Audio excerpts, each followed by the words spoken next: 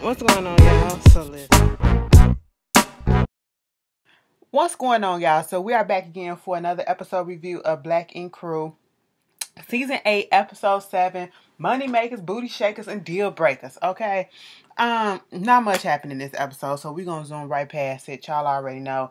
Um, Sky came back this episode and she overheard everything that was going on in the shop. Okay, so you know she got the HR rule that basically everybody needs to be fucking everybody. So that's what they was down there doing.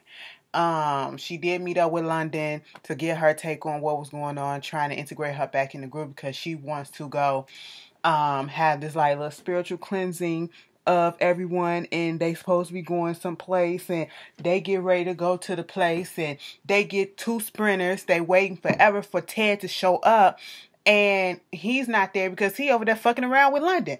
Oh yes, him and London damn it made the shit official, you know, and we already saw that coming. He meet up with her, have a little date night with her or whatever, talking about everything that was going on. And to on a one point, I can understand London's frustration because of the simple fact that yes, Puma is the one that brought her into the shop. Puma is the one that said it's cool to have that pool party, and Puma didn't have her back. So I get that her back or whatever. So I get that frustration, but I'm like, girl, you rolling down the wrong path, fucking around with this nigga Ted. But okay, do what you want to do, a um, Miss Therapist. Okay, moving on from that, um what else is going on? At the beginning of the episode, you got Tati, uh, Donna, Jumbe, Crystal, you know, and Kitty. They have a little party bus, and then that's when Sky first pops on the scene. And Sky was like, you know, Tati, there's a warrant out for your arrest for um attacking uh London out there. And uh, wait a minute. So these this show was out of order. I just realized that because when she said forbidden of London or whatever, you know, then you go later on into the scene when Sky finally comes into the shop and that's when they let them know that um let her know that there was an issue between Tati and and, and, and London. She was like, Yeah, I hit her or whatever. And it was like when all this stuff. Girl, I just figured this shit out. I said, No wonder why. Okay. But on this bus scene, they should have put this to the last. Okay. They should have switched the positions, you know, of this thing. Um, basically she made it seem like a cop was gonna come and get her. You know, she had a warrant for her arrest because London pressed charges against her or whatever for attacking her in uh, Memphis and all that stuff. And what wound up being, I said, y'all should have known that this girl was playing games, okay? It's Sky. She don't fuck with the cops like that, okay? But it was just a little joke to bring a stripper on board, of course, and that's all that really happened right and there. Um, what else wound up happening in this episode? Like I said, Ted fucking around with London. Ceaser, Ted has a problem with Puma, okay?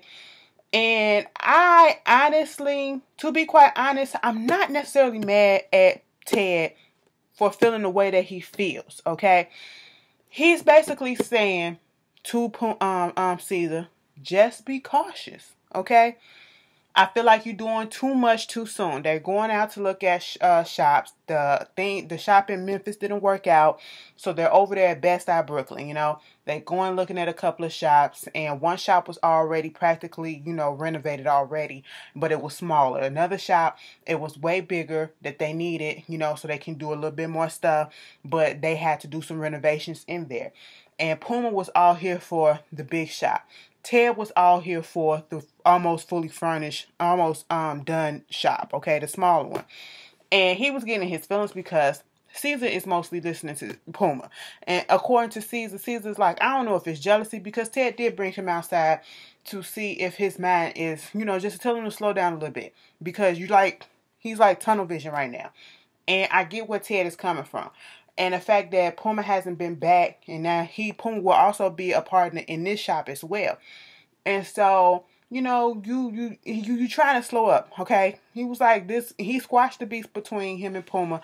That's fine and dandy, but you still need to err on the side of caution, okay? And I feel like that's where Ted is coming from. I don't think it's a jealousy thing.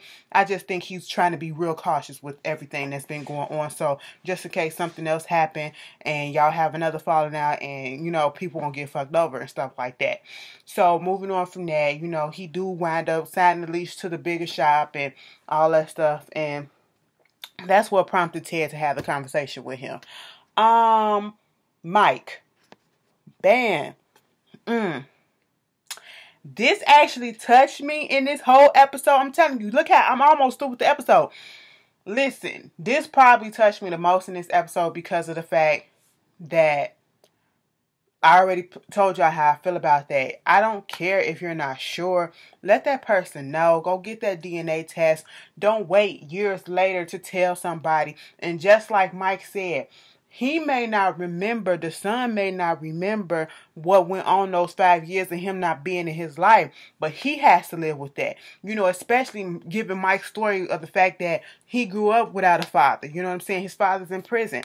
And, you know, he wanted to do things different and he missed out. If this boy turns out to be his child, he missed out on a lot of things. And I know we assume that's what we do. That's natural to assume things, but still that girl should have said something to just about whoever she thought was the baby daddy and then did the process of elimination and got the DNA test and all that stuff, okay? Um, yeah, y'all was young, y'all still young. You still whoever the father is, you still took away five years from them trying to get into this child's life, you know. And I felt so bad for Mike. I really Mike, let me tell you something, okay? I don't usually like to like Bryce like that, but you are a fine looking man, okay? You really are. And let me just say this. Um, don't get no tattoos on your face because your skin is just like butter. It's smooth, okay? I was like, oh, ain't no bumps, ain't no dents, ain't nothing. Baby, his shit, I said, let me rub it. Let me just rub it. You know what I'm saying? He is cute. He's a cutie pie. He's a cutie pie. He probably be turning cute ass out. Okay? Turn that bitch inside out. But um anyway, and whatever bitch you be fucking. But whatever, that was that was that. So they are gonna get the paternity test. And you know, she I felt like she felt what he was coming from because she was about to tear up. She was trying not to tear up too. And I really felt like he was not putting on for the cameras. I really feel like that he was sincerely and genuinely meant everything that he said out his mouth. Um, that whole situation with Puma and not Puma, but Walt and um Jessica.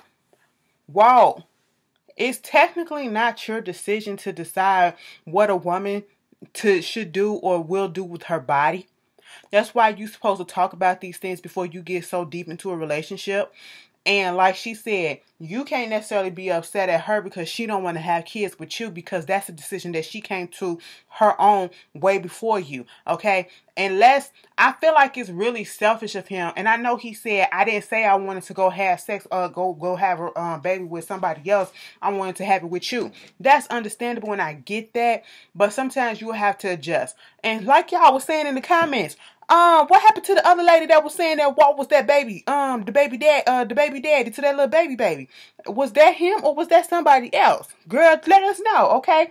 You know, cause we only know about the two that you keep showing. But what about that baby baby? But um, you're talking about some you're and you're not she because she said she was a single mother she had to go through shelters and all this stuff she didn't have no help but you'll have me i'm all up in my kids life you're in your kids life certain times throughout the year when they when you can afford to bring them out there to visit you and stuff like that. And I'm not trying to put down on him. You know, he probably is active, like, you know, calling on the phone, FaceTiming and stuff like that. That is cute. That is making time and doing what you got to do. But you just have to understand that women bodies, especially once they get to a certain age, they can't go through all of that. Yes, we may still have menstrual cycles, but that's not saying that anything else can go wrong. You know they call um, pregnancies over the age of 35 and up geriatric pre- pregnancies, okay? And that's the time period where anything can happen to the baby and uh, while it's developing the developments uh, mental physical all that stuff can be off you know and you got to err on the side of caution again also, you know, the baby can come out perfectly healthy. Also, something can happen to the mother as holding that.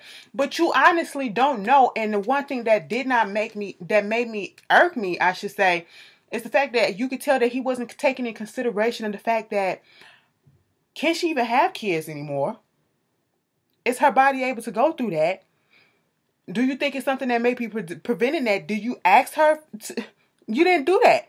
You know, you just automatically assume and getting your feelings that, you know, she didn't want to have your baby just because she didn't want to have your baby, you know, and she has every right to feel the way that she feels, and you have right to feel the way that you feel, but she would be the one that, ha- I feel like she has more rights than this because she's the one that had to put her body through that trauma. Getting pregnant and delivering the baby is trauma, and it's so much more when you're up in age, okay? Y'all not spring chickens, and baby, you don't need to start over no more. You need to shelter the ones that you have now. That's what it is, okay? But um I really hope that this don't tear them apart because like I said I like seeing them together and they was happy. You know, I hope they um able to, you know, come to a compromise because sometimes people can't compromise and they be like listen i don't want to have no kids but i think about it maybe my mind or my mood will change and listen babe but then again i don't want you to um be looking at me like oh, you made me have this baby, or oh, you didn't have my child, or whatever. So you you um feeling resentful or whatever. It's a tricky situation. Y'all tell me what y'all would do. But moving on from that, when they going out on a trip or whatever today's supposed to be going, baby, the car broke down. And my whole thing was, it's two sprinters. And one of those sprinters where everybody and their mama was in, it was a whole back seat that was still open. Y'all all couldn't get up in that back seat and go ahead to where y'all needed to go while y'all fixed the other car. Girl, get out of here. And when Scott came back off that bus with that sage and her titties and ass out, and that lady walked past or drove past and said, Put some clothes on, you freak. I said, Bitch, that was a white woman right there. and then Mike, Mike, I ain't need to see that. I did not ask to see that. Okay, you put your clothes back on. You say that for cute. Okay, but anyway, that was Black Ink Crew. If I missed something, y'all put it in the comments, and I'll see y'all later. Peace.